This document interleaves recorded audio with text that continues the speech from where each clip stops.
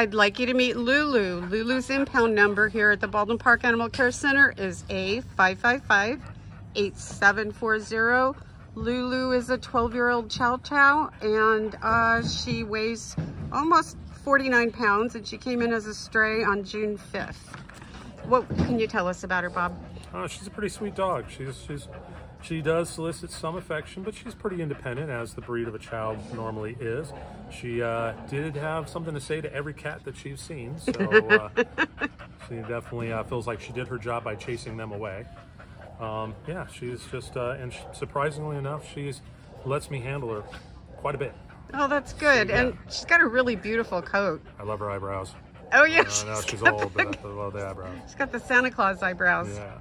All right, come and meet Lulu. Again, impound number is A555-8740. Bye, Lulu.